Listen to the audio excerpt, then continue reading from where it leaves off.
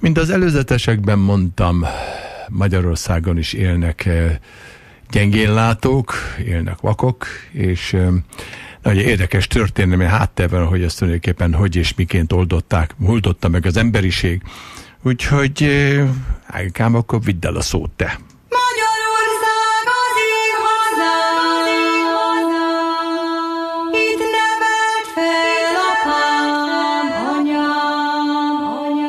Üdvözlöm a kedves hallgatókat, Kis Ágnes vagyok. A történelmi korokban, hogyha valaki vaknak született, akkor, hogy jó vagy rossz sora volt, az csak a szerencsém múlott. Az első vakok iskoláját Európában 1784-ben Párizsban hozták létre, és ennek a tanára volt Louis Braille, akiről a Braille írást elnevezték, azon egyszerű oknál fogva, mivel ő találta ezt ki. Magyarországon a vakokkal való foglalkozás 1825-ben kezdődött, amikor is egy a Bécsi Vakok iskolájában tanító fiatal tanár elhozta néhány tanítványát Pozsonyba, hogy bemutassa, hogy mit lehet elérni a vakok oktatásával.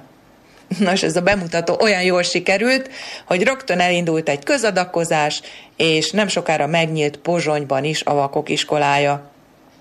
Ezt József Nádor is támogatta, és később ő szorgalmazta, hogy ez az intézmény költözön át Pestre.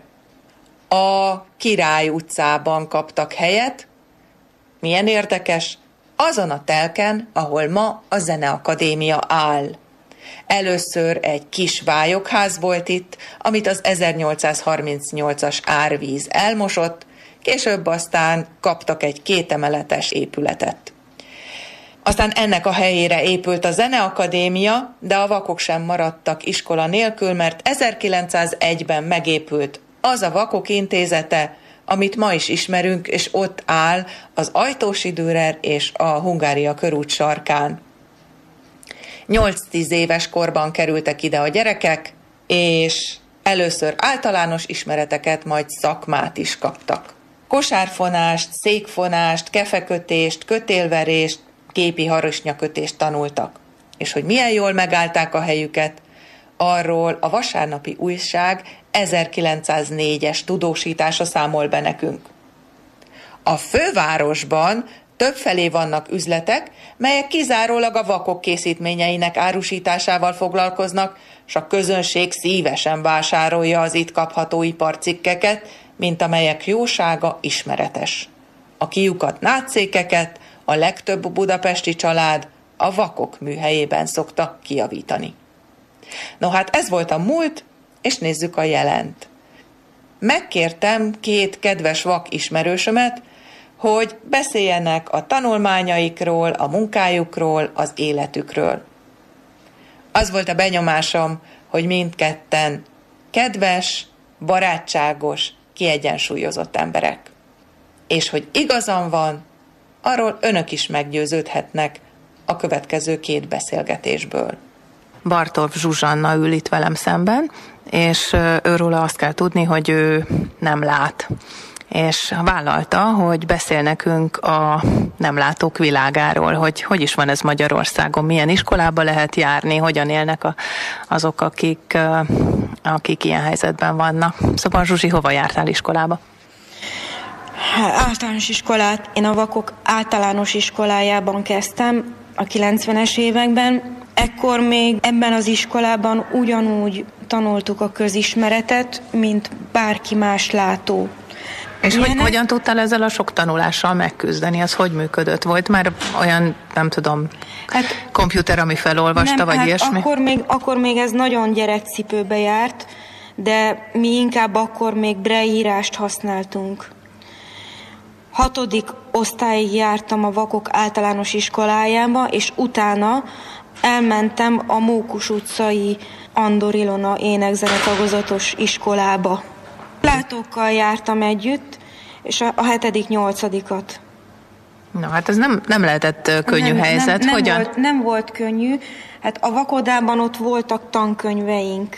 Minden, szinte minden tárgyból megvoltak a tankönyveink.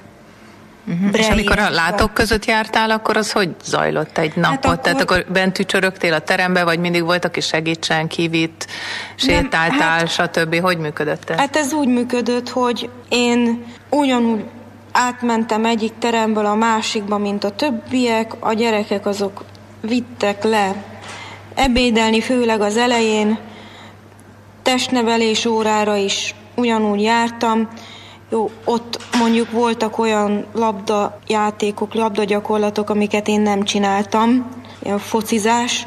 De, de úgy amúgy torna gyakorlatokat csináltál, Azt nem? csináltam a gimnasztikát. Uh-huh. Meg amikor a többiek ezeket a labdajátékokat csinálták, akkor szobabicikliztem. Uh-huh. És ugyanúgy mentem például görkorizni a gyerekekkel.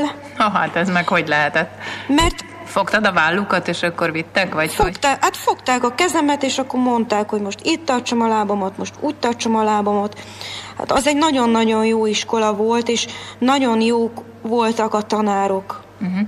Szerintem zseniálisan fölmérték, hogy mi az, amire egy vakember képes, és mi az, amire nem, holott én voltam akkor az első vak ott.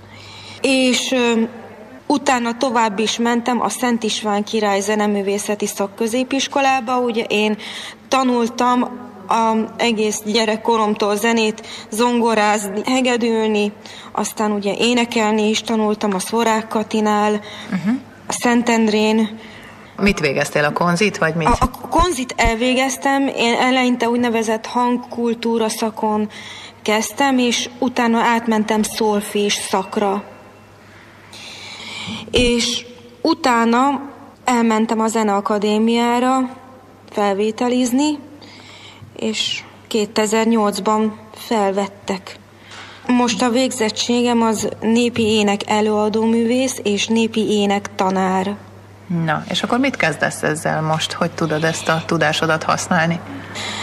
Hát most jelenleg tanítok a Kis Zenede Alapfokú Művészeti Iskola és szakgimnáziumban. Pontos Hány neven, tanítasz? Kicsiket, kicsiket tanítok. Uh-huh. És te vagy az énektanárjuk. És én vagyok az énektanárjuk. Hát és, ez nagyon jó. És nagyon ügyesek a tanítványaim, úgyhogy büszkeséggel tölt el, és hát tartok előadó esteket, verseket énekelek népdalokra. És hát ugye az éneklés mellett azt azért ne hagyjuk ki, hogy Hegedülni tanultam János Andrásnál, a Zeneakadémián, és furujázni meg Juhász Zoltánnál. Hát még ugye a mesemondást azt ne felejtsük ki szerintem. Igen, az is jó fontos terület, igen, amit nem olyan régóta űzöl, Hát ugye? igaz, igen, hát igazából két éve űzök. Két éve. Két éve. Uh-huh. És most fogom elvégezni a Hagyományok Házának a tanfolyamját, Aha. és hát kórházban rendszeresen mesélek gyerekeknek. Uh-huh. Viszem el oda, és az élőszavas mesemondást is azt el kell mondjam, hogy ha bár a gyerekeknek mesélek, de hogyha a szülő ott van, akkor a szülő az legalább annyira élvezi, mint a gyerek. Hogyne, leül oda és tátva marad a szája. Igen, és meg vannak döbbenve, hogy sokszor azokat a meséket, amiket ismernek, hogy azt mennyire más így élő szóban hallani, mint felolvasva. Hát ez az. Jó, akkor látom, hogy nagyon sok mindennel foglalkozol, és örömedet leled benne, és sikeres vagy sok mindenben, úgyhogy kívánok további sok élményt ezeken a területeken. Köszönöm szépen a beszélgetést. Én köszönöm. Daniló Zoltán barátomat már ismerik a kedves hallgatók, mert tavaly előtt a karácsonyi műsorban már a Mozaik Sydney rádióban mondott verset, és egy kicsit bemutatkozott, de azért elevenítsük föl, hogy ki ő. Akkor egy pár gondolatot mondanál magadról, Zoli? Igen, üdvözlöm a hallgatókat, Daniló Zoltán vagyok. Én a születésem óta nem látok, Budapesten élek. 2018-ban szereztem meg a diplomámat angol és magyar mint idegen nyelvtanára szakon. Közoktatásban még nem dolgoztam, magánúton viszont tanítottam. Jelenleg a láthatatlan kiállításon dolgozom, mint angolos tárlatvezető. Mi is ez a láthatatlan kiállítás, Zoli? Hát a láthatatlan kiállítás az igazából azért jött létre, hogy közelebb hozza a látó és a látássérült társadalmat, ugyanis azt úgy tapasztaljuk mi látássérültek, hogy sok látó nem igazán mer közeledni hozzánk, vagy fél tőlünk, és nem mer segítséget felajánlani, és ez a kiállítás pont azért jött létre, hogy leküzdje ezeket az akadályokat.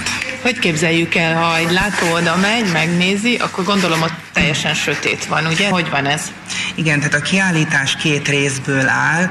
Van egy látható rész, itt megmutatjuk a Braille írást, tehát a vendégeknek lehetőségük van Braille névjegyet készíteni, megnéz, akkor van egy játékasztal is, ezen a részen itt kipróbálhatják azokat a játékokat, amik direkt úgy lettek kialakítva, hogy látássérültek is használhassák, például Rubik kockát, vagy sakkot, és van a láthatatlan rész. Na, ez um, hogy néz ki?